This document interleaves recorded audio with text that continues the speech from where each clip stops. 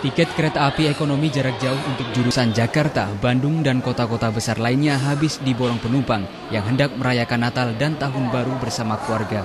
Di stasiun Mojokerto, tiket kereta api Pasundan jurusan Bandung telah habis sejak tanggal 20 Desember hingga 31 Desember. Bahkan kereta api ekonomi gaya baru malam jurusan Jakarta habis hingga awal Januari mendatang. Sejumlah penumpang terpaksa membeli tiket kereta api kelas bisnis maupun eksekutif dengan harga lebih mahal. Yang tidak kebagian tiket supaya mencari alternatif angkutan yang lain. Dan yang kedua mungkin bisa diprogram jauh hari sebelumnya.